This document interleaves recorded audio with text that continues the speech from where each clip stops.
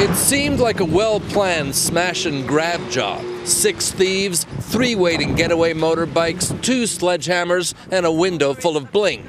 But they hadn't planned on one granny with an attitude. Ann Timson is the name of the lady in the red coat, 70 plus years of petulant pensioner, charging into the would be robbers like an avenging angel with a handbag. They never stood a chance. It's amazing. I mean, it's, it's very courageous what she's done, but there's six very dangerous men out there with hammers, and, and she's made a beeline for them and, and put them off what they were doing. She says she first thought it was a gang beating somebody up. When she realized it was a robbery, she really got mad.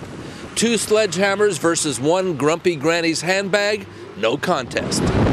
Two of the robbers fled in such panic they fell off their bike. Finally, onlookers who had stood by in shock moved in.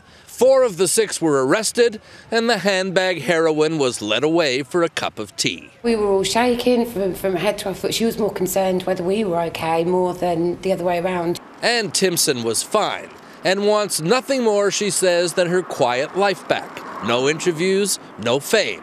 Although she did tell a local paper she'd do the same thing again. Mark Phillips, CBS News, London.